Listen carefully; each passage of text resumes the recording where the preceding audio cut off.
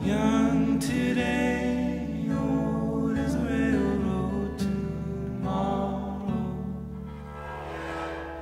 Days are just drops in the